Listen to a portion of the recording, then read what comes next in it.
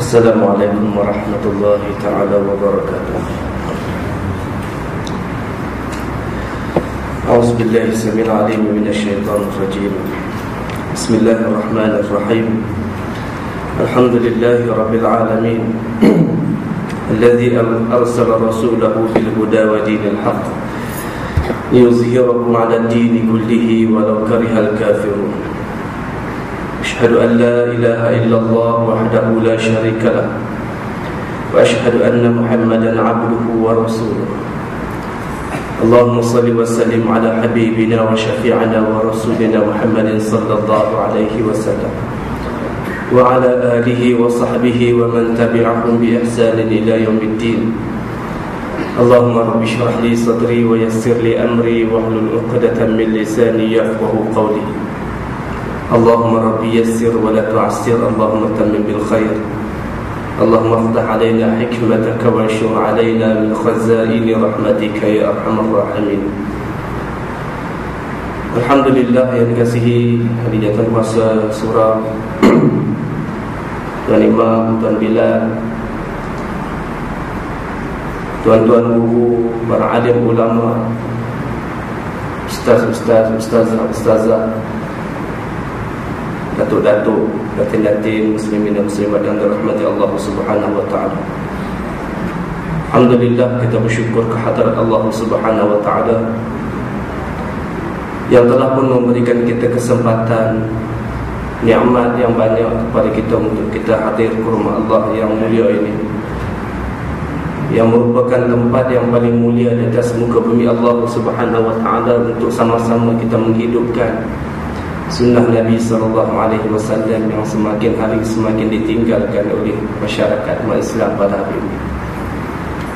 Alhamdulillah kita bersyukur kerana kita masih lagi dipilih oleh Allah Subhanahu wa taala untuk mengecapi nikmatnya yang banyak ini.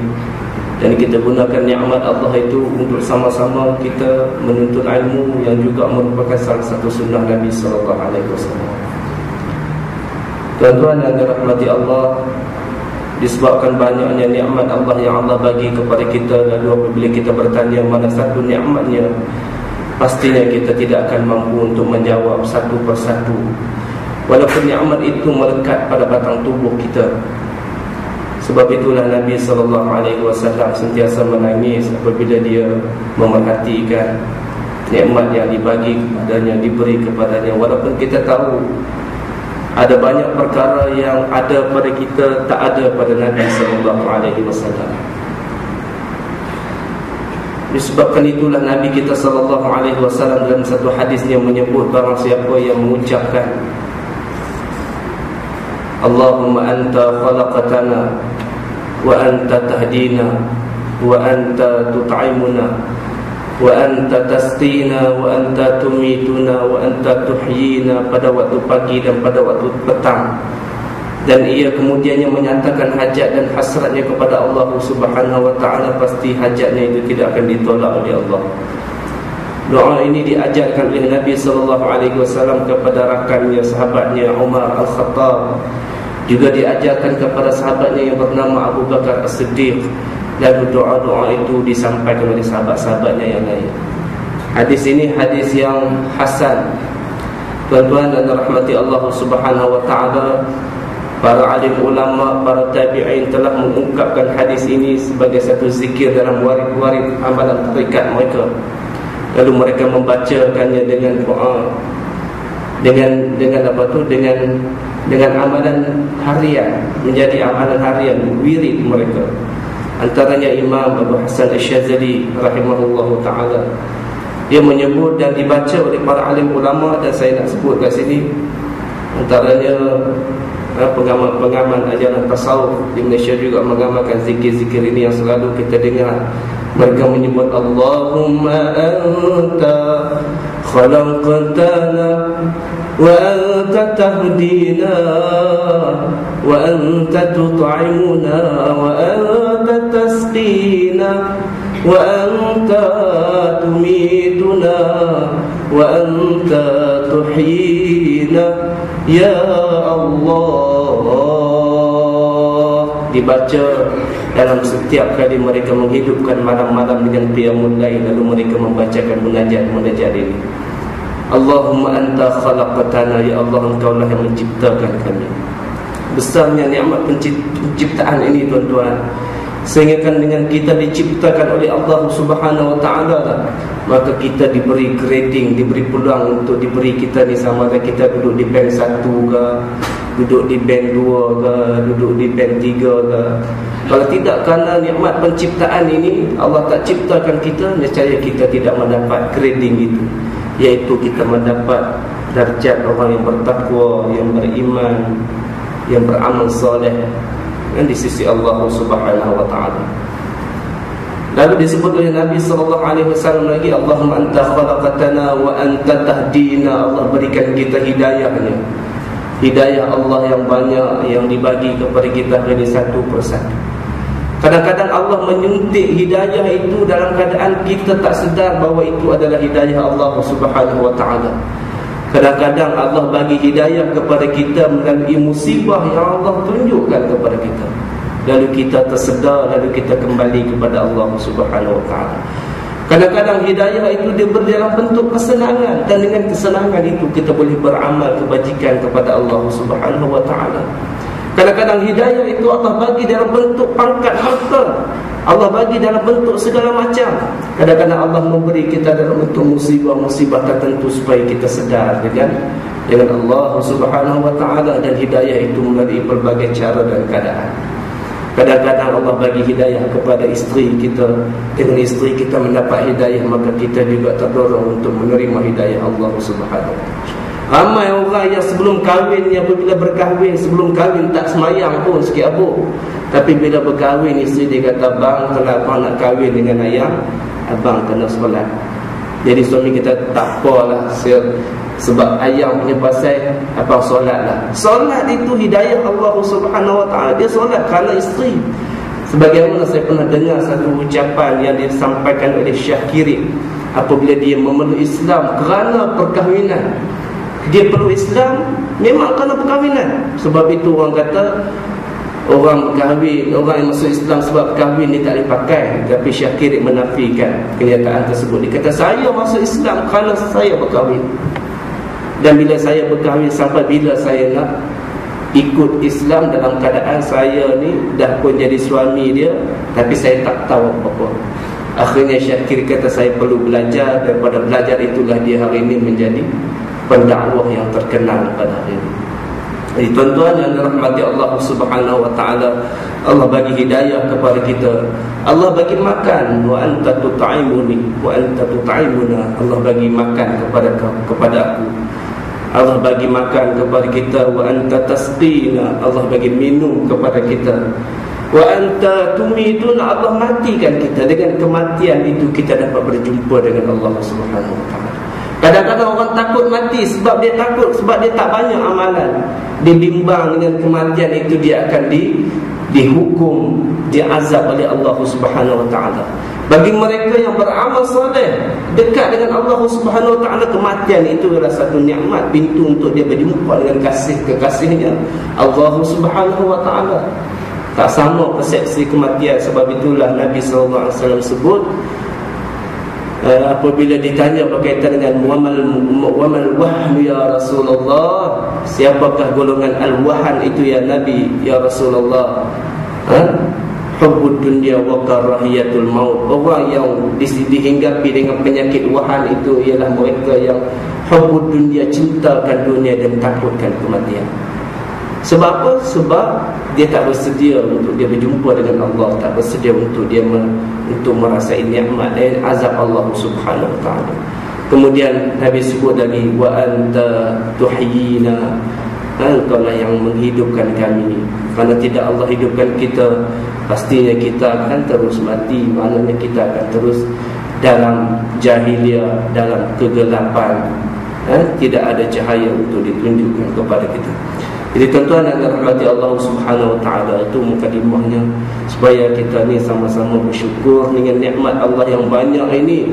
Nikmat Allah yang tidak terhitung ini banyaknya. Lalu Nabi SAW mengungkapkan dalam satu hadisnya Dan disebut siapa yang membaca hadis ini Pada waktu pagi dan pada waktu petang Melaziminya. Maka dan jika ia mempunyai hajat Maka berniat dan berhajatlah Maka Allah tidak akan tolak permintaan dan hajatnya Jadi tuan-tuan dan dirahmati Allah Subhanahu Wa Taala. Kita bersyukur dan kita sambung lagi bacaan kitab kita ini. Kitab Fiqh Sirah jilid yang pertama untuk versi bahasa Melayu. Kalau kita tengok versi bahasa Arab dia tidak ada jilid lah. Dia satu saja. Dia kerana bahasa Melayu ni dia punya syarah dia panjang. Jadi kita dia ada terjemahan lagi. Sebab itulah kita perlu kepada tiga jilid. Dan insyaAllah eh, kita akan sambung lagi perbincangan kita tak kat mana kita bincang tu eh? eh? tajuk dia je Nabi SAW berjalan ke negeri Syam Tuan-tuan yang dirahmati Allah Subhanahu Wa Taala.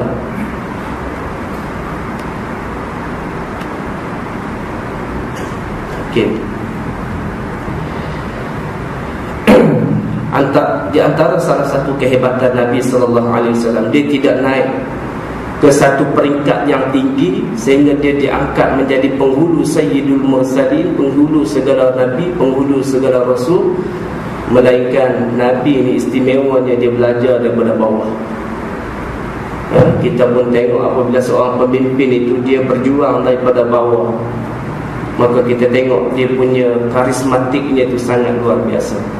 Nabi SAW daripada kecil kita dah baca sirahnya Nabi ni bermula daripada keadaan anak yatim Memang dia ni orang yang tak dibimbing oleh manusia Dia anak yatim ha? Dalam beberapa tahun mak dia meninggal Disusukan oleh Oleh siapa?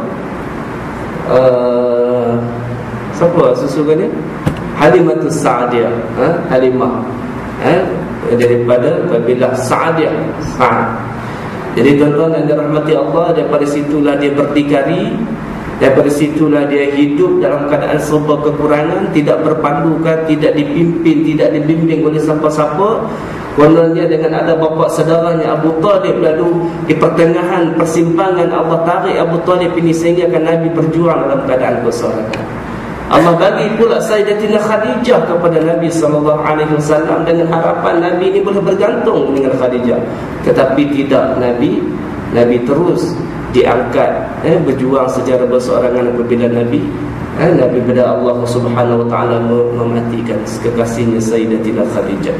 Jadi dalam kehidupan Nabi ini waktu dia muda dia dah bekerja. Dia dah bekerja. Sebab itu kalau kita tengok orang-orang yang berjaya dalam perniagaan, orang-orang yang berjaya dalam kehidupan kita tanya, antara yang kita tengok Said Bukhari itu.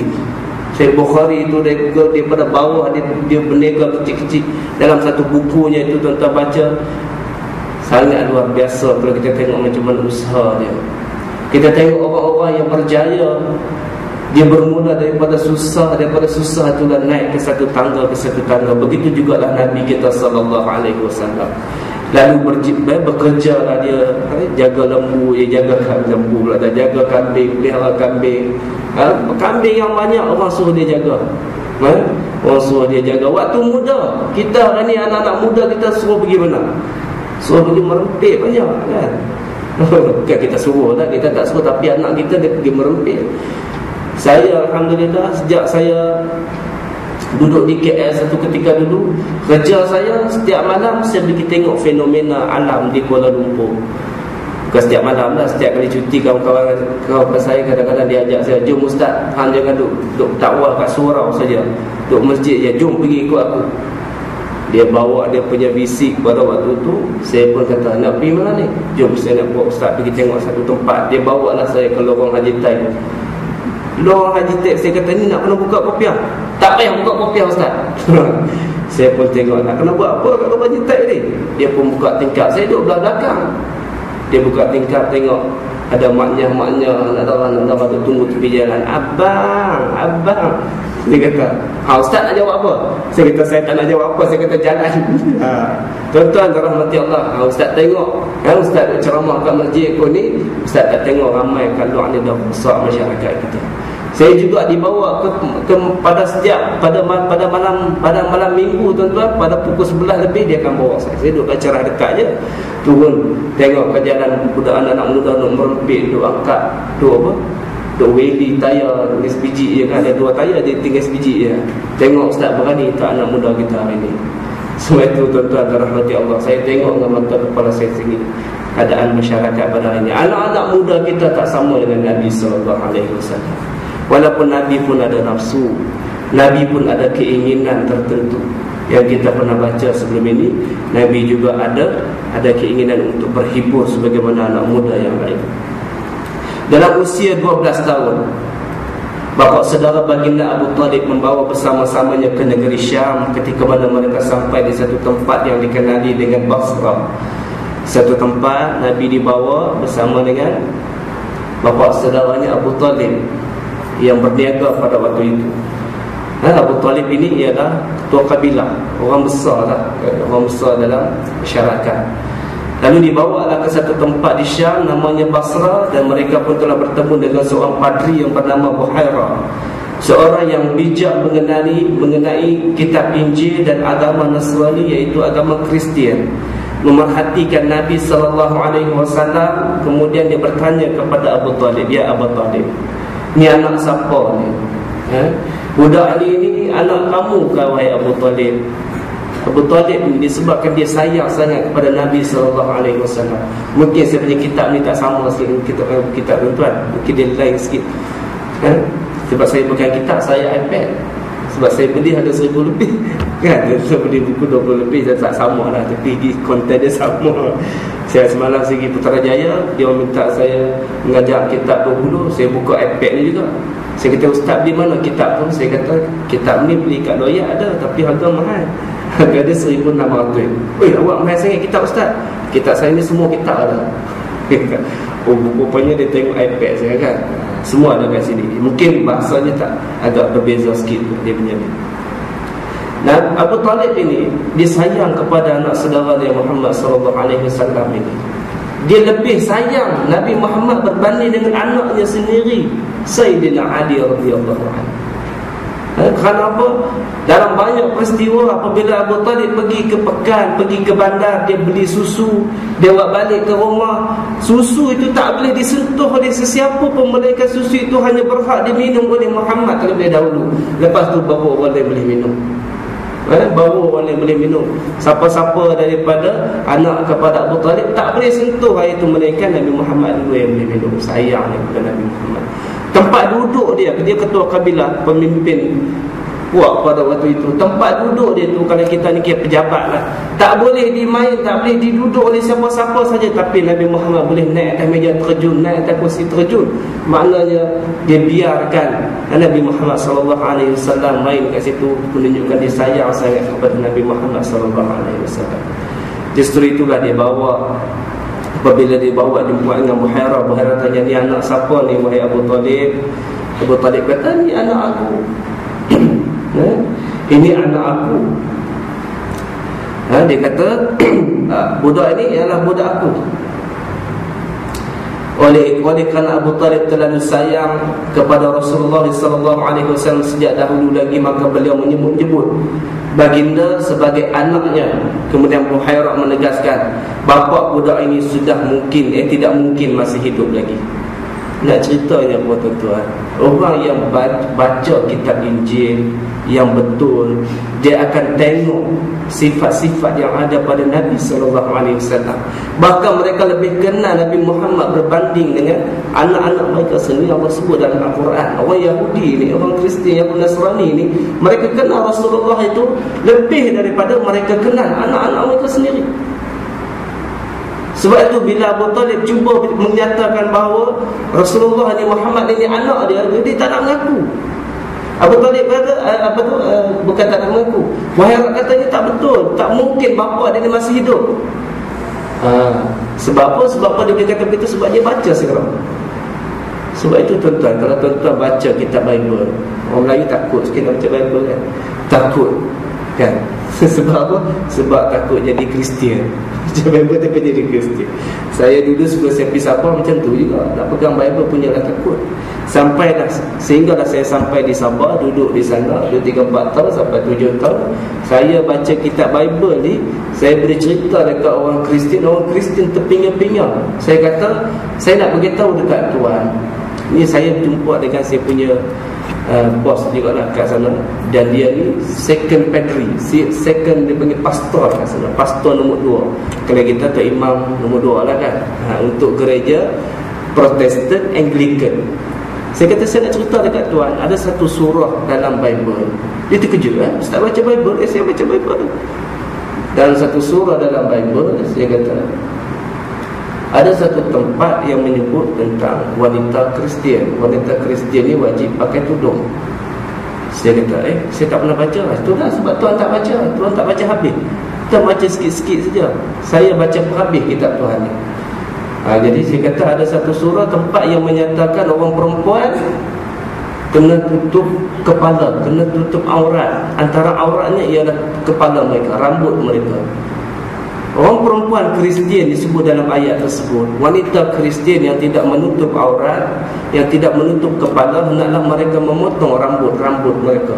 Kena potong rambut. Orang Kristian Yang tuan-tuan tengok kalau rambut pendek Dia tak pakai tudung. Maknanya dia baca kitab. Tetapi Ayat seterusnya dia kata wanita Kristian yang memotong rambut mereka adalah wanita-wanita yang jelek ha, Wanita-wanita yang teruk lah Jadi dia pun kata Eh saya tak pernah dengar Saya kata sekarang saya nak beritahu ha, Saya nak beritahu Dan saya juga pernah membaca Dalam Bible juga Bahawa orang Kristian Tak boleh minum arak dia kata tak ada yang boleh minum. Yang diberi yang diboleh dia yang dibenarkan minum ialah minum minuman anggur. Anggur bukan arak.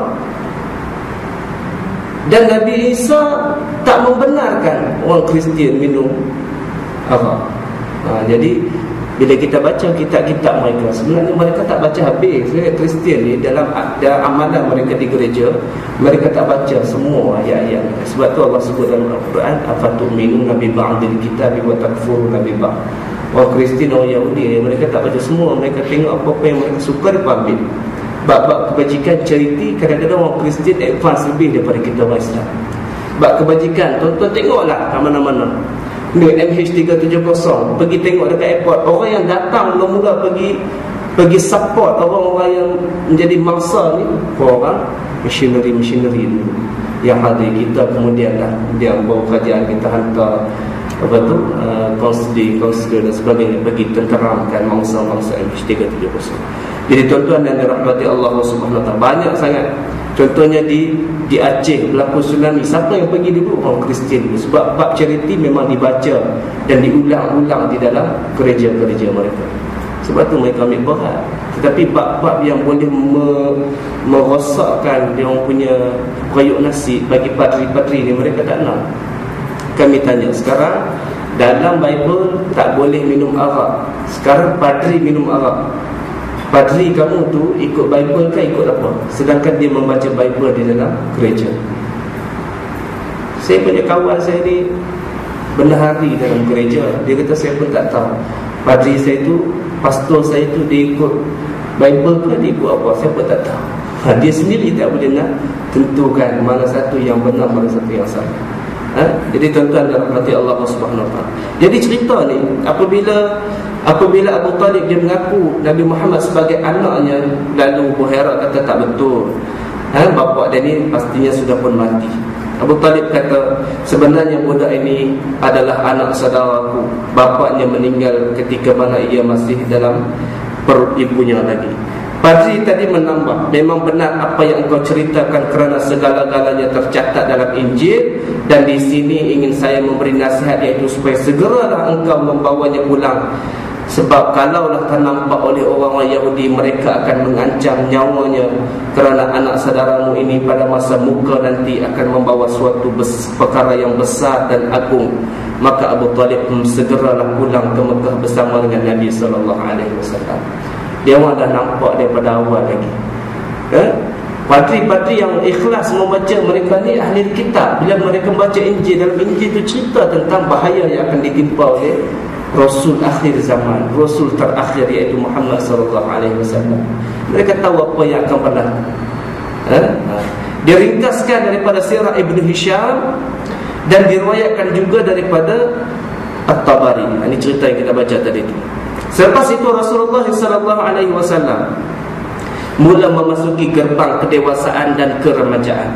Baginda mula mulalah bertungkus lumus menjinsing lengan mencari rezeki yang halal sebagai menternak kambing, penternak kambing. Maka Rasulullah sallallahu alaihi wasallam menceritakannya.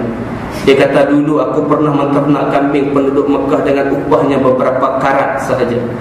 Masing eh, eh dia kata apa? Cuma dia kata apa? Eh, disebut di sini Hadis ini ialah hadis yang diriwayatkan daripada Imam At-Tirmizi ya.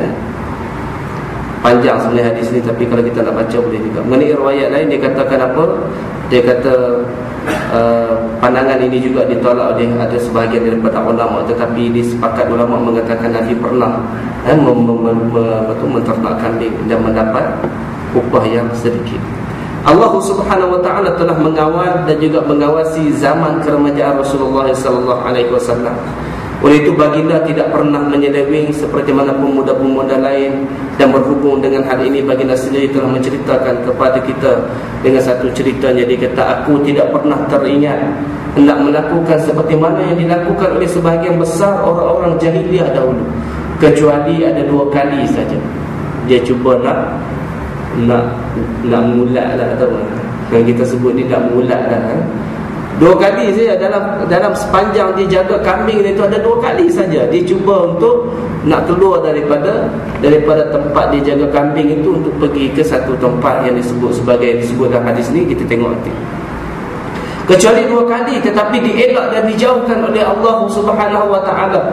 Lepas itu aku tak ingat lagi sehinggalah aku diutuskan menjadi rasul. Di suatu ketika aku sedang menternak dengan seorang pemuda lain di mana aku telah meminta beliau agar tolong melihatkan kambing ternakanku sementara aku sedang aku nak pergi melihat-lihat di kota Mekah.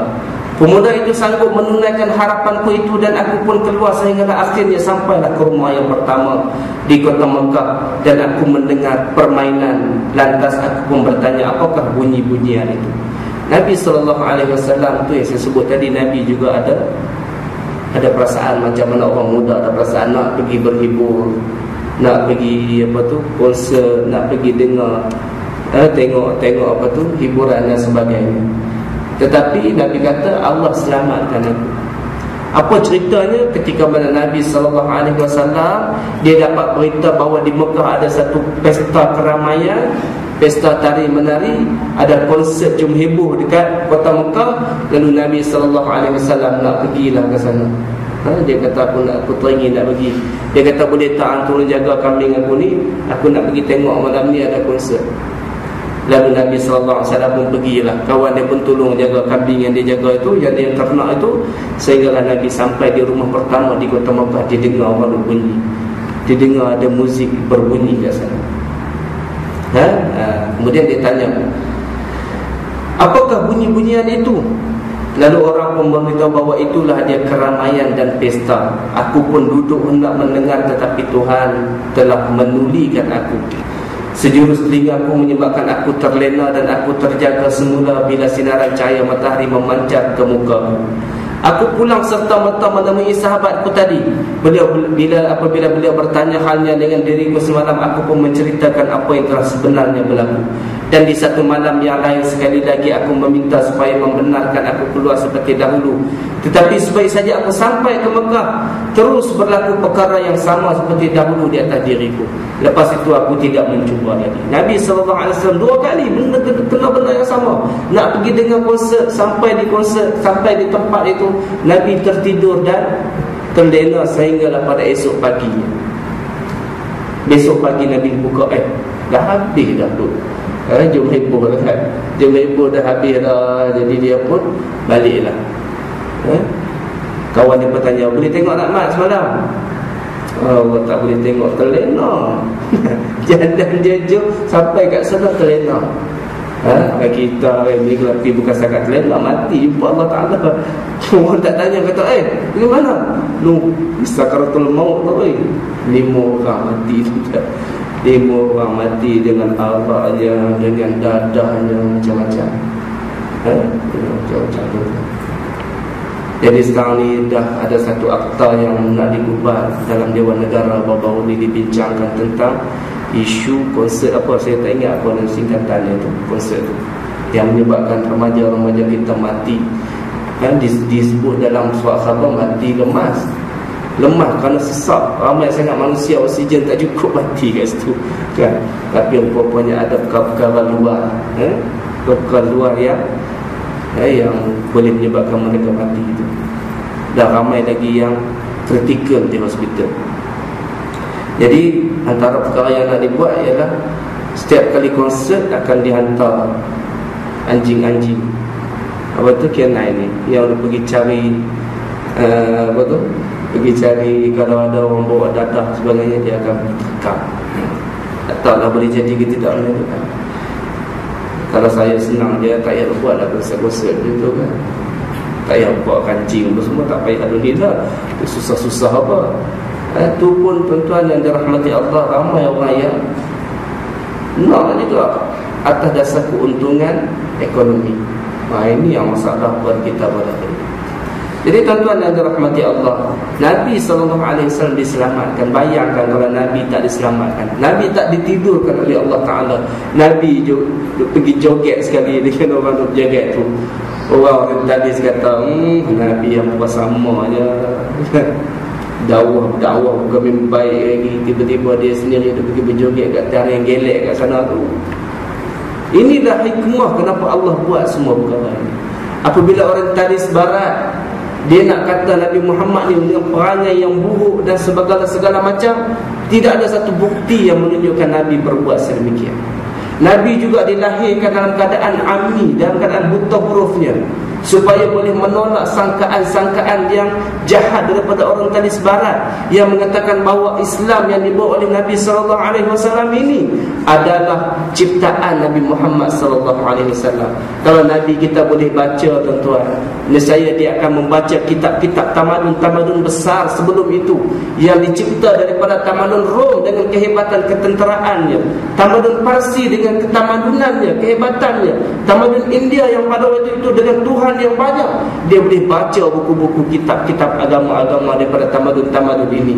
Lalu dia boleh adunkan menjadi satu agama baru. Itu kalau Nabi boleh baca. Tetapi Nabi tak boleh baca. Dikatakan dalam perjanjian Hudaybiyah Ketika mana perjanjian ditulis oleh Sayyidina Ali radhiyallahu anhu, orang Quraisy tak mau Nabi tulis. Eh, eh, apa tu perjanjian itu ditulis dengan nama Muhammad sallallahu Muhammad Rasulullah. Dia tak nak mau, tak mau perkataan tersebut diminta supaya dibuang perkataan Rasulullah. Nabi ditanya Sayyidina Ali Ali mana kalimah Rasulullah? Mula-mula Nabi kata Buang Ali. Ali berat hati nak buang Dia takkan aku nak buang kalimah Rasulullah. Kalau Nabi tanya kepada Sayyidina Ali ha, Kat mana dia? Kat mana kalimah tu?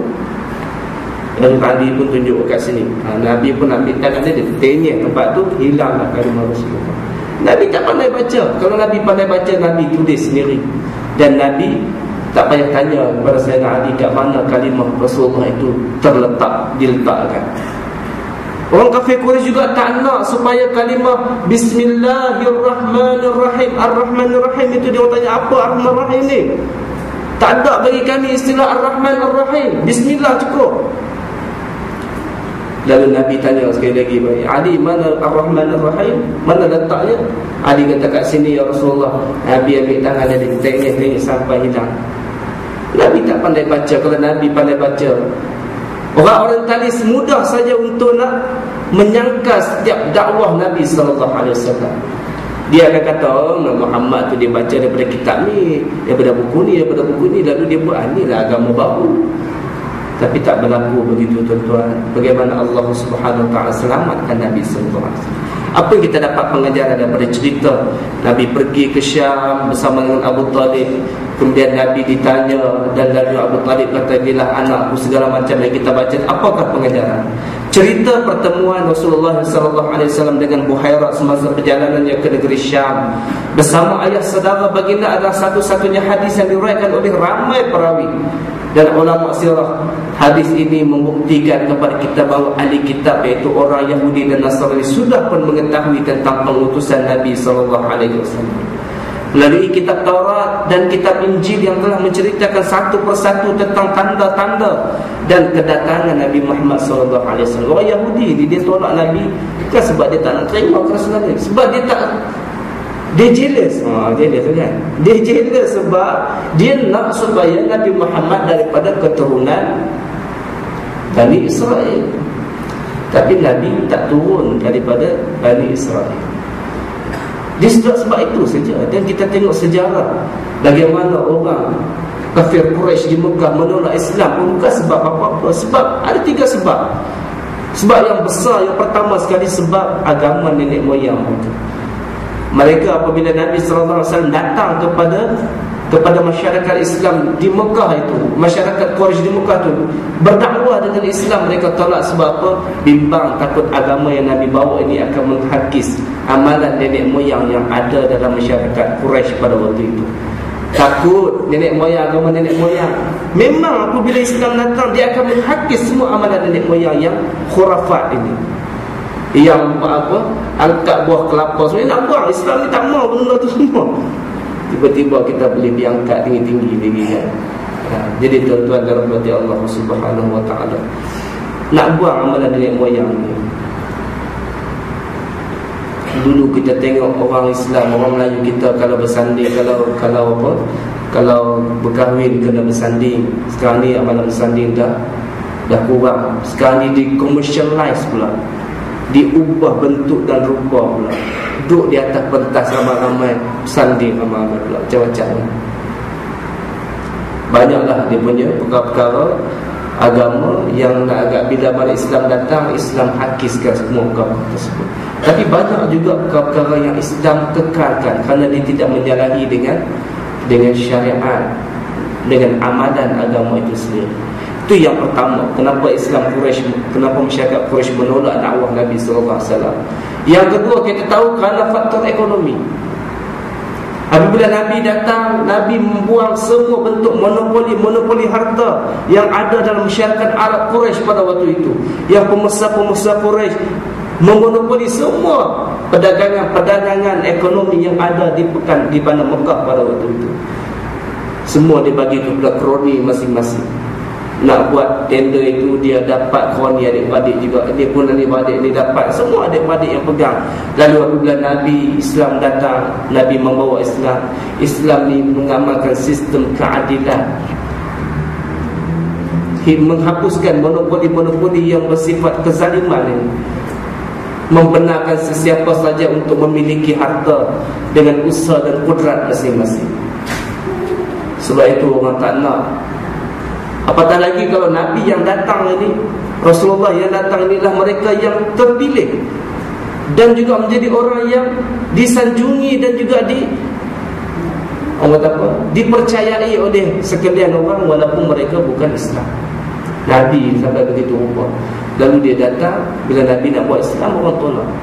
Sebab itu saja sedangkan Nabi wasallam ini adalah mereka yang dipercayai. Orang yang dipercayai, orang kafir Quraisy suka kepada Nabi sallallahu alaihi wasallam. Banyak perkara perkara-perkara yang orang kafir Quraisy tak boleh nak buat keputusan, Nabi tolong buat keputusan bagi pihak mereka. Tapi dalam bab agama mereka tolak Nabi sebab kepentingan-kepentingan pribadi tertentu. Yang ketiganya faktor politik. Apabila Nabi yang mempunyai pengaruh yang hebat ini dengan akhlaknya yang baik dan dipercayai Apabila Nabi membawa Islam mereka bimbang. Satu hari nanti pengaruh yang ada pada Rasulullah SAW menghapus pengaruh-pengaruh yang ada pada pemimpin-pemimpin Quraisy pada waktu itu. Mereka tak nak kuasa mereka jatuh kerana datangnya Islam. Sebab itu mereka sanggup bagi apa saja kepada Muhammad asalkan Muhammad tak bawa Islam tak dakwah dengan Islam. Tak ada sebab yang lain melainkan semuanya untuk kepentingan peribadi saja. Sebab itu tentu begitu juga dengan agama Yahudi yang kita bincang pada malam ini. Mengikut apa yang telah diperihalkan oleh ahli sirah, orang-orang Yahudi Madinah pernah menyebut-nyebut tentang kedatangan Muhammad sallallahu alaihi wasallam kepada puak Aus dan Khazraj. Dan bila dilahir sahaja mereka akan mengikut dan beriman dengannya. Supaya dapat mereka berperang dan menghancurkan orang-orang Aus dan Khazraj. Seperti mana termusnahnya kaum Ad dan Iram kerana pada waktu itu Yahudi Madinah berselisih faham dan musuh-musuhan dengan dua puak ini. Aus dan Khazraj pada waktu itu sedang bermusuh dengan orang Yahudi. Lalu orang Yahudi mengharapkan supaya datang satu penolong pembantu daripada daripada langit iaitu Rasul. Dan mereka mengharapkan Rasul itu datang daripada kalangan masa Yahudi. Tapi ternyata Allah Subhanahu Wa Taala tak bagi Nabi akhir zaman kepada mereka. Lalu mereka tak puas hati pada waktu itu. Lalu Allah Subhanahu Wa Taala menceritakan perkara ini dalam surah Suratul Baqarah ayat 89 Walamma ja'ahum kitabun min indillahi musaddiqun lima ma'ahum Wa kanu min qablu yastaftihuna 'ala alladhina kafaru falamma ja'ahum ma 'arafu kafaru bih fala'natullahi 'alal kafirin dan setelah datang kepada mereka Al-Quran daripada Allah yang membenarkan apa yang ada. Membenarkan apa yang ada pada mereka. Padahal sebelumnya mereka biasa memohon kedatangan Nabi untuk mendapat kemenangan atas orang-orang kafir maka setelah datang kepada mereka seorang yang mereka ketahui iaitu Muhammad sallallahu alaihi wasallam lalu mereka engkar padanya maka laknat Allah lah ke atas orang-orang yang engkar ini. Jadi tuan-tuan ni cerita Allah sebut yang dulunya mereka berdoa supaya datang penolong-penolong. Datanglah Muhammad Nabi akhir zaman. Bila Allah turun Muhammad mereka ingkar kepada Nabi sallallahu alaihi wasallam. Kita juga sama tuan-tuan. Hari ini kita ada berselawat sana. Seronok Nabi SAW Cinta pada Nabi. Tapi bila Nabi suruh kita buat perkara yang kita tak suka Kita engkar kepada Nabi SAW tak sama ke kita dengan apa yang dilaksanakan oleh Yahudi ini Cuma kita bukan orang Yahudi sajalah. Banyak kita pun lebih kurang kalau begitu keadaannya Kita cinta pada Nabi dalam setengah perkara Tetapi dalam bab-bab tertentu kita lawan dan kita tentang Nabi SAW Ini satu benda yang sangat mencelikkan dan merosakkan Orang Yahudi rosak kerana perkara ini. Jangan sampai kita juga rosak disebabkan perkara yang hampir sama. Al-Qurtubi menceritakan bahawa Sayyidina Umar radhiyallahu anhu bertanya kepada Abdullah bin Salam yang merupakan seorang pendeta ataupun padri Yahudi yang telah memeluk Islam. Semasa turunnya ayat alladzina atainahumul kitaba ya'rifunahu kama ya'rifuna abna'ahum wa inna fariqan minhum la yaktumuna al-haqqa wa hum ya'lamun. Orang-orang Yahudi dan Nasrani yang telah kami beri kitab Taurat dan Injil mengenal eh, mengenal Muhammad seperti mereka mengenal anak-anaknya sendiri dan sesungguhnya sebahagian di antara mereka menyembunyikan kebenaran padahal mereka mengetahuinya. Tengok apabila apabila apa tu? Orang Yahudi di, diceritakan disebut Imam Qurtubi dicerita bahawa Sayyidina Umar radhiyallahu anhu tanya kepada Abu Salam lalu orang padri ni sebut apa? Dia kata sebenarnya kami kenal Nabi ini lebih daripada kami kenal anak-anak kami sendiri. Kita kenal anak kita anak kita menangis macam ni kita tahu anak kita menangis sebab sakit. Kita kalau anak kita menangis macam ni dia menangis sebab lapar. Kalau kita menangis, anak kita menangis sebab macam ni Anak kita tu menangis sebab mengantuk. Kita tahu passion dia. Bahkan orang Yahudi lebih kenal Nabi SAW daripada mereka kenal anak-anak mereka sendiri. Nak cerita hebatnya orang Yahudi bila dia baca kitab Bila dia baca kitab Injil Taurat yang ada pada tangan mereka Tetapi mereka menyembunyikan fakta ni Mereka tak nak terima benar Mereka tak nak terima kebenaran yang dibawa oleh Nabi SAW sebab itulah Sayyidina Umar bertanya kepada kepada apa? Kepada padri Yahudi tersebut. Dia kata, "Tidakkah kamu mengetahui Muhammad wasallam itu seperti mana kamu mengetahui anak-anak sendiri?" Lalu Abdullah bin Salam dia kata apa? Ya begitu memang begitu. Malah lebih daripada itu. Lalu dia berkata Allah telah mengutuskan pembawa amanahnya dan langit untuk disampaikan kepada pembawa amanahnya di bumi ini. Segala sifat-sifat Rasulullah itu aku mengetahui lebih terperinci. Sedangkan pengetahuan mengenai diri anak-anakku tidak aku tahu sepenuhnya. Salman Al-Farisi radhiyallahu anhu seorang sahabat yang terkenal telah memulai Islam kerana beliau mengetahui sifat-sifat dan kedatangan Rasulullah Rasulullah sallallahu alaihi wasallam terlebih dahulu kerana semuanya tersirat dalam Injil dan diperkatakan oleh padri-padri. Sebab itu tuan-tuan, saya nak sebut walaupun dalam Bible yang kita baca pada hari ini tak semua mengekalkan apa yang ada dalam Injil yang asal Barnabas itu yang hampir sama dengan Injil asal itu pun begitu kita sudah dapat tengok kebenaran Al-Quran yang ada dalam kitab Bible. Dan saya buka kitab Bible Saya tengok Allah Tak ada satu pun yang suruh sembah Nabi Isa AS Ataupun Jesus Jesus Christ. Tak ada satu ayat pun. Bahkan dalam banyak ayat dinyatakan dalam Bible Dia kata apa? Jesus Christ menafikan Memelarang supaya menyembah aku Menyembah dia banyak ayat yang begitu. Dan banyak juga ayat-ayat syahadatain Yang mana kita sebut dalam Al-Quran. Yang kita baca Ashadu an la ilaha adalah Persaksian bahawa Allah itu satu. Tak ada trinity pun Tapi orang tak nak baca.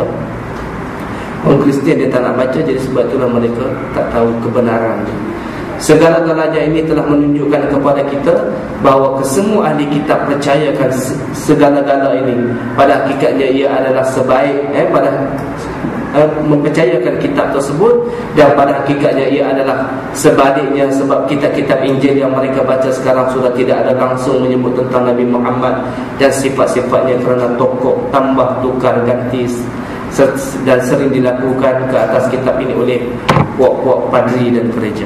Dan hari ini kalau tuan-tuan tengok version Bible saya ingat ada berbelas-belas version. Saya jumpa pada tahun 2009 version terbaru Bible version yang eh, ke-19 itu yang Melayu punya.